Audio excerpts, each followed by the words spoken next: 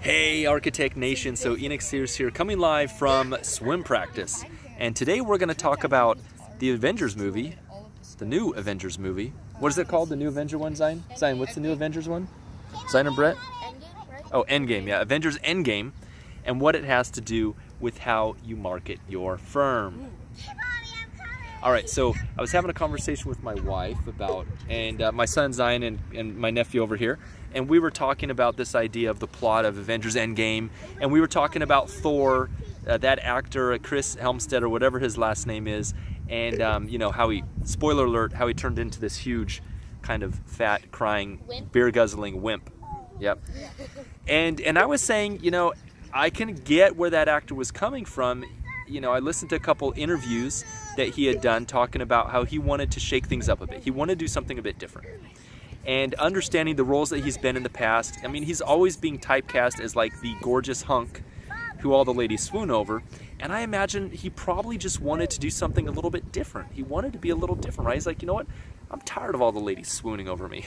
I'm tired of all the uh, people thinking that all I can do is be Thor, be this amazing hunk. So I'm going to show them a different side that I'm a versatile actor and I can do other things. And I thought, I thought, well, that's cool. I mean, he did do that, right? But my wife had this interesting perspective. She said, you know what? She said he wasn't lovable. He lost his charm. And she says, I think he shot himself in the foot. And here's why she said that. She said, I think that he should have just stuck to doing what he did best. Now, you can you can have your own opinion about whether you thought he shot himself in the foot. Carly, my wife, said, well, you know what? Uh, because he plays such a good hunk, that's what he's good at. He should have stuck with that instead of trying to branch out and do something different. However, I brought up the point there's probably a lot of actors and actresses who start out, they get typecast in one role, like for instance the guy that plays Harry Potter, I don't even know his name, but you know, he's done some pretty creepy, crazy stuff since he did Harry Potter. And uh, you know, think about Keanu Reeves. He was in Bill and Ted's Excellent Adventure. I mean, these are iconic movies that people get remembered for, and these actors and actresses basically have to really try to break the mold to get out of that typecast. Carly wasn't buying it, and I see her point. She said, you know what? Someone, they should just stick with doing what they do well, right? So Chris, whatever his name is, he plays an excellent Nordic god. he should stick to those roles. And I thought how similar that is to firms and when we get out there in our marketing message that we try to be something who we're not.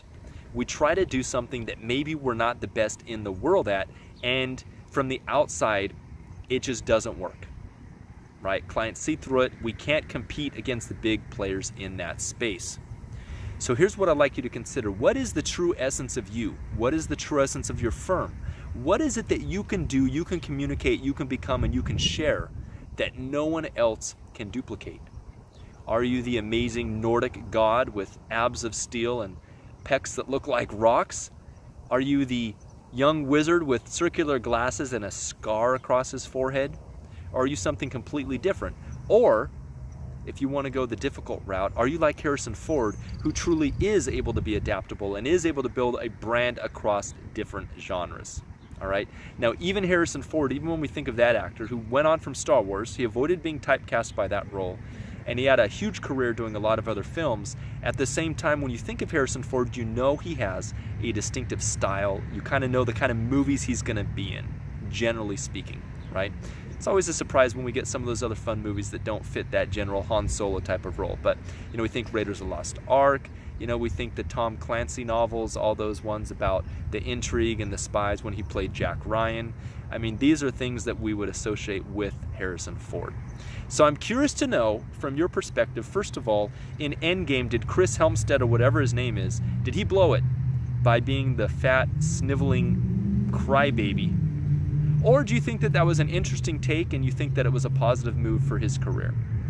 Now, I think that it was a positive move for his career because he showed how versatile he can be as an actor. However, what I would say is if you are an architecture firm, and you probably are if you're watching this, and you're thinking about marketing strategy that's going to win you market share in the marketplace, make sure that you can pull off the alternate version of you, right? Otherwise, it may flop and you may have you may lose all of your lady fans like Chris Helmstetter and not get any fans to replace them because they hate what you did to Thor. All right? As always, Carpe Diem, Let me know what you think in the comments below. I'd love to know your take on this very, very important topic. Bye for now.